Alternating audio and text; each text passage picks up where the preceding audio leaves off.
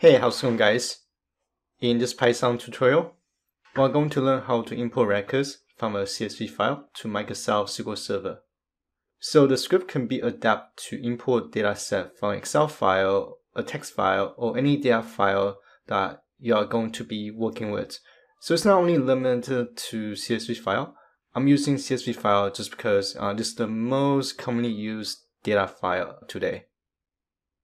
And the database is not limited to Microsoft SQL Server.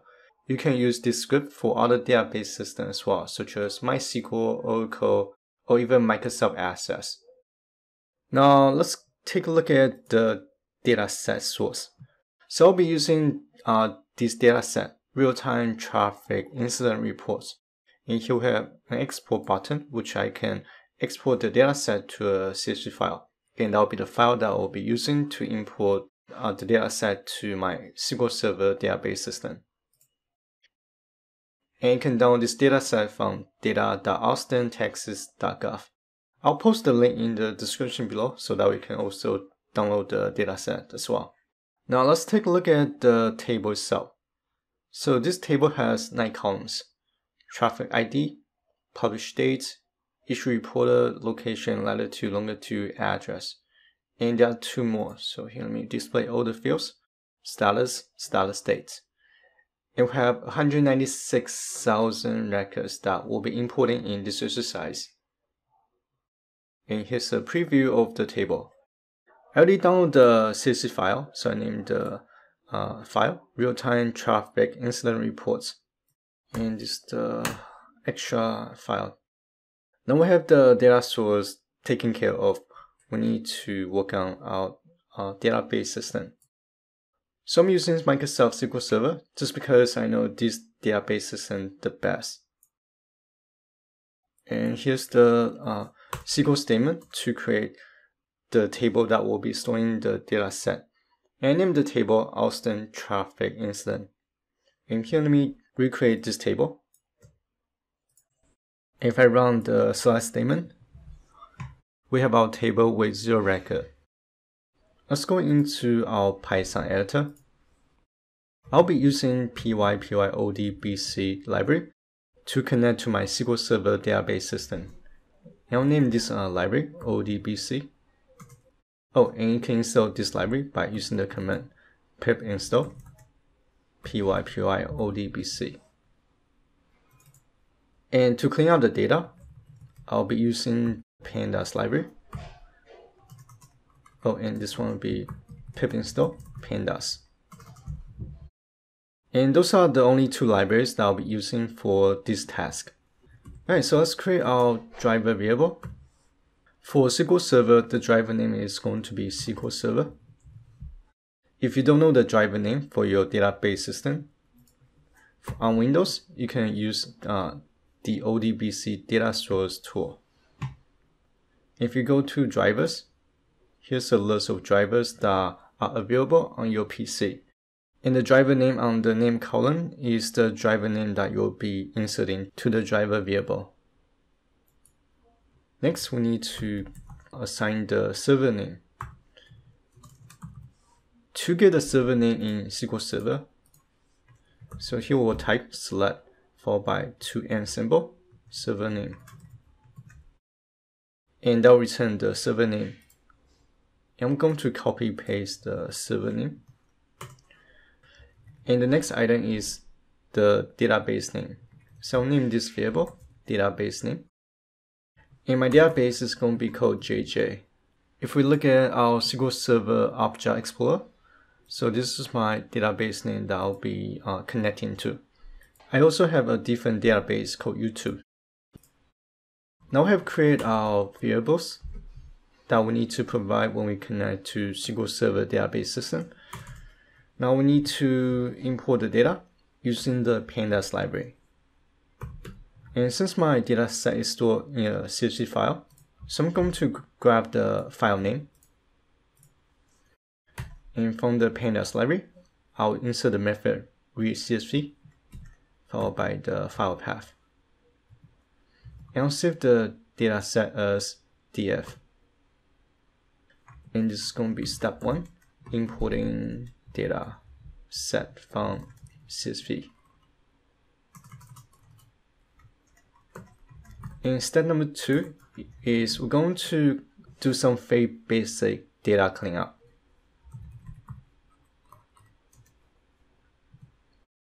Now let me import the library first. So run these two lines.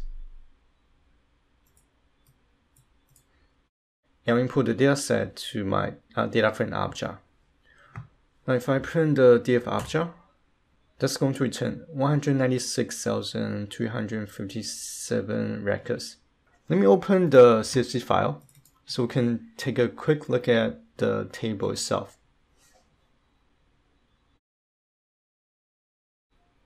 Let me zoom in a little bit.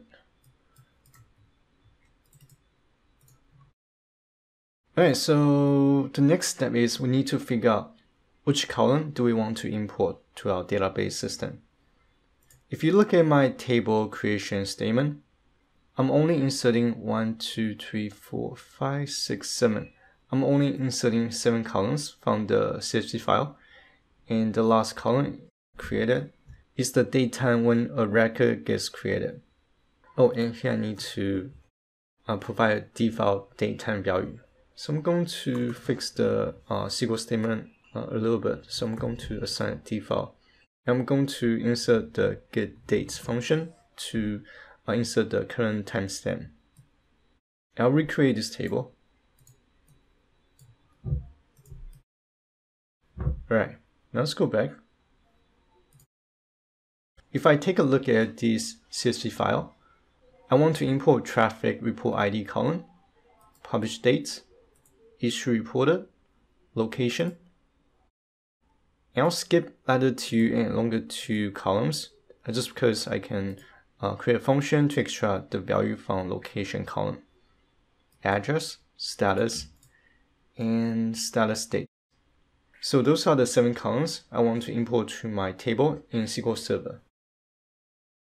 But first, we need to clean up some data. So from the CSV file, we have two datetime column, status date, and publish date. If I simply create the data from publish, oops, published date, it will grab the first five records. And noticing that the data type is an object. That means when I try to export the datetime value to SQL Server, it's going to recognize as regular string. I need to convert that to uh, actual datetime value that SQL Server recognizes. And to do that, in pandas, there's a function called to date time. And this is actually one of my favorite functions when I work with uh, dates or time values. So we can simply uh, insert the publish date value to this function, and that will actually convert the uh, string to datetime uh, format. So here, let me show you. If I run this theme right here, just give a second.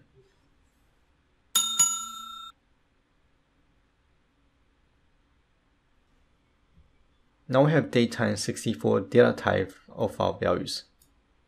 And that's what we want. So that's something that we can uh, convert to the format that SQL Server recognizes. And here I'm going to type .dt and just going to convert the value, this datetime 64 uh, format value, to the proper datetime format. Now we can convert the formatting. For the formatting pattern, And it's going to be uh, uppercase Y hyphen lowercase m hyphen lowercase d. I also want to grab the time value. So it's going to be hour, minute, and second. And we're going to replace the current published date column with this uh, new set of values. Now let me run line 12. Now if I create the published date column again, and this what the oops so here made mistake So the S didn't get, oh, I forgot the percentage symbol. So here let me re-import the data set to my data frame object. And you know I made a mistake before, now I fix it so I can uh, basically do the same for the other datetime column. I remember the name was uh, status date.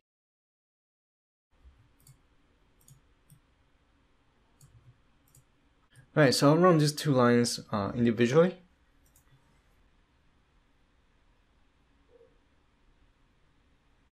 Now the next data cleanup task is remove all the bad data. I already worked with this data set before.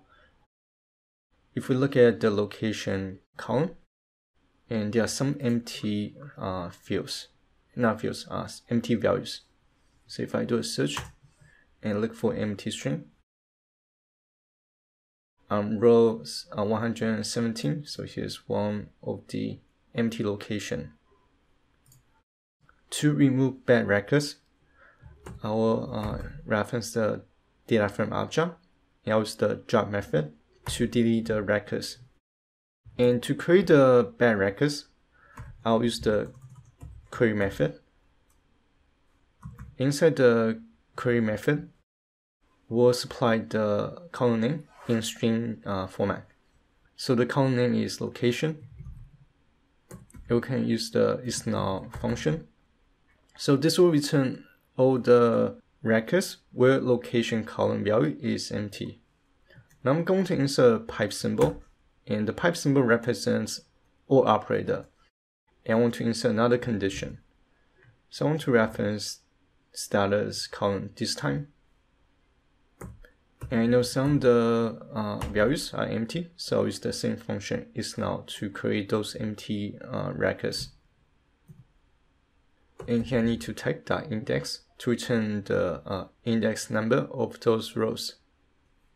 And I'll set the in place value to true to replace the uh, records to this uh, df frame object. Alright, so that's the cleanup test. And step number two, actually this will be step number three, but I'm going to name that as uh, step 2.2. For step 2.2, we want to specify the columns we want to import. I'll create a list object. I'll name this object columns. I'm going to type all the columns I want to import. So the first column is traffic report ID. I think the ID is uppercase. Yep, uppercase. Here I'm going to just copy all the columns, actually column headers. I'm going to just copy and paste. Oh, actually, I forgot. I can. There's a, another way I can do it. So I can reference the data frame object. I can insert the columns property. Let me see. Right. I'll grab this list. And I'll just copy and paste. And I'll remove 2 and longer 2 from my list.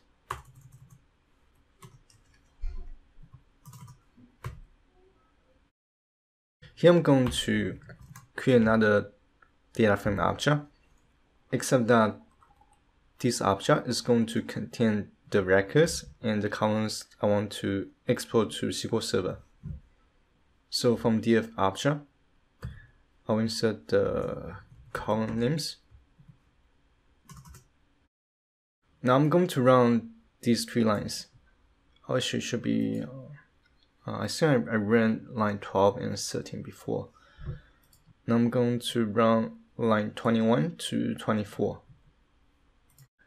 If I print df data object, that will give us 194,221 records in 7 columns. Because when we use ODBC library to insert records to a database system, we need to provide next list object. So that means we need to convert our data frame data set to a list object. And to do that, I'll convert df data data set to values first, then to list. Now if I run line 26, oh, this should be plural, so I made a mistake. This should be records. Now if I print the first 10 records of the records object, that'll convert each row into a list. Now we are finished preparing the data. Now we need to work on creating the SQL Server connection to communicate with Python. So this is going to be step 3. Actually, let's do step 3.1. Create SQL Server connection string.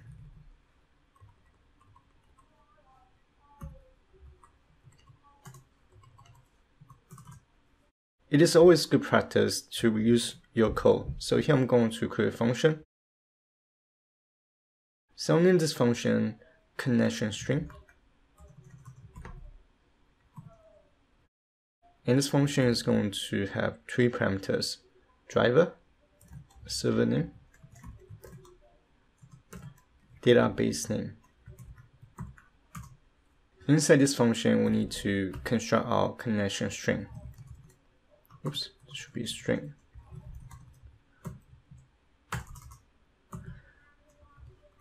I'm creating an f string, so just be aware of that. And the string is going to be driver is equals to, and here we need to insert two curly brackets, followed by the argument name, semicolon at the end, server. We only need to insert one set of curly bracket, and followed by the server name argument. In database, one set of curly bracket followed by database name argument. You also need to make sure that we set the trust connection property to yes. In case if you are logging into your SQL Server with a user ID and a password, they need to insert two more properties. So the first property is uh, actually not password. The first property is going to be username. Then you will type your username ID and followed by the semicolon. So username. And the second property is going to be password. And here's where you're going to insert your password. And since I don't need to provide my user uh, credential, so I'm going to delete those two properties I want to return the connection string.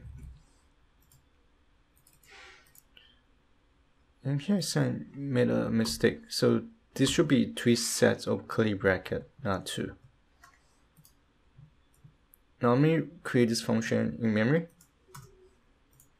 Now if I insert the connection string function, and I'll provide my driver, server name, and database should this should be server name database name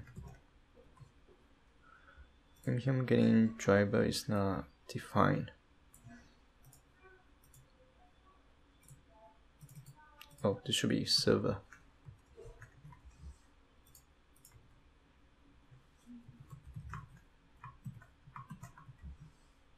Okay so everything looks good. So this is what I'm looking at the driver value server value database name and trust connection is yes. In case if you are wondering uh, when you are creating a connection string for a different database system, you can go to the site connectionstrings.com. Um, this website has a list of all the available database systems connection string reference. Now let's go back. Now we can create our connection object. And this will be step 3.2 create database connection object. Actually, I'm going to name this instance. I'll grab the ODBC library dot connect. And all we need to do is we just need to provide our connection string to the connect method. And I'll name the output as connection, C-O-N-N and here I need to insert try except block just because um, it's very likely that you're going to run into some sort of error in the beginning. I'm going to insert the first handler, except ODBC database error as E. And if this error happens, I want to print message database error. Then I want to print the error message. if it's other than the database error, then I want to just print a very generic uh, error message. And this will be connection error. And I'll print the error message.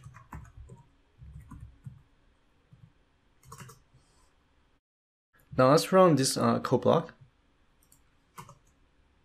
And here's my first error data source name cannot found no default driver. Let me take a look. So I ran into this issue yesterday.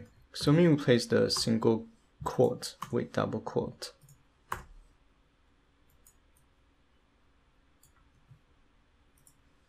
Oops. Let me try again.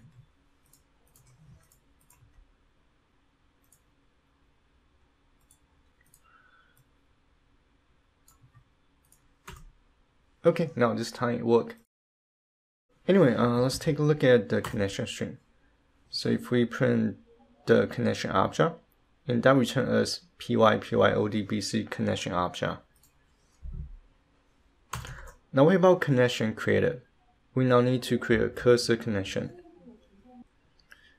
And this will be step 3.3, create a cursor connection.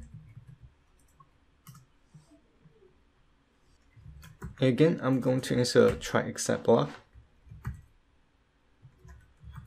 And this time I'm going to use exception to capture all the errors.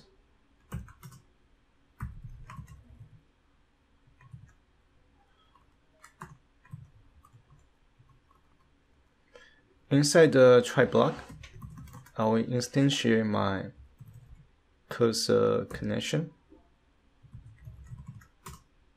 If you don't know what a cursor is, a cursor is basically an identifier associated with all the rows or records in a database system. And to insert our records, we need to prepare a SQL statement to do that. So I'll name the SQL statement SQL insert.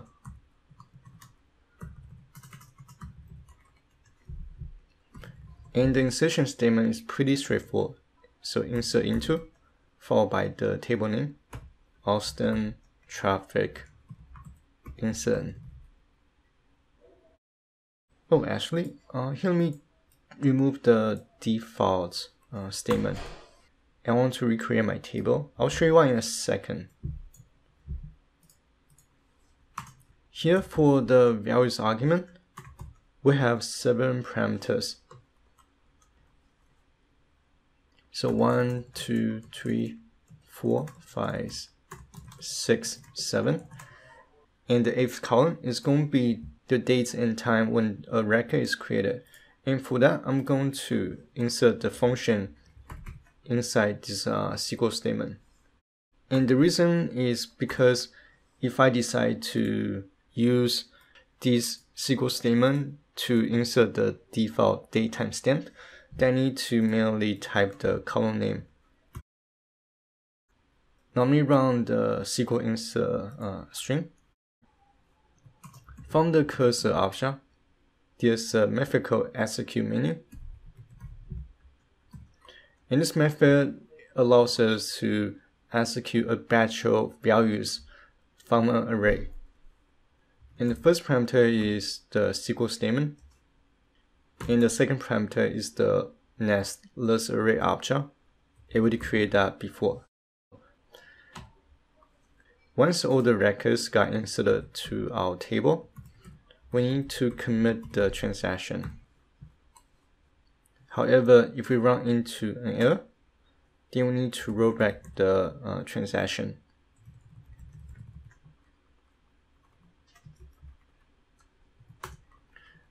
And finally, if the uh, transaction is successful, then we know we have finished uh, inserting all the records. Now we can close everything. So we need to close the cursor connection and the connection connection. The reason I didn't want to close the connection object and the cursor object uh, inside this error block is because when we run into an error, I want to keep all the connections open. That way we can reattempt to insert the records again. Now this is everything we need to write for the Python code. Now let's give it a try. So I'm going to save this script. I'm going to press F5 to run the script.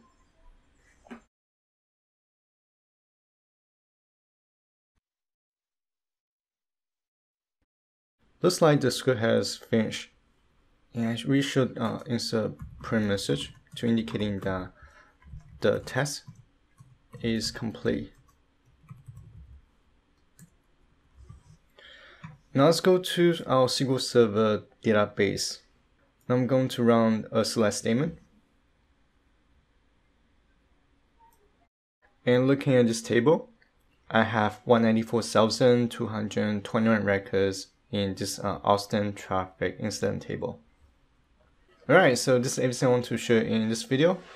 If you have any feedback or any comment, please leave them in the comment section below. And as always, thank you guys for watching. I'll see you guys on the next video.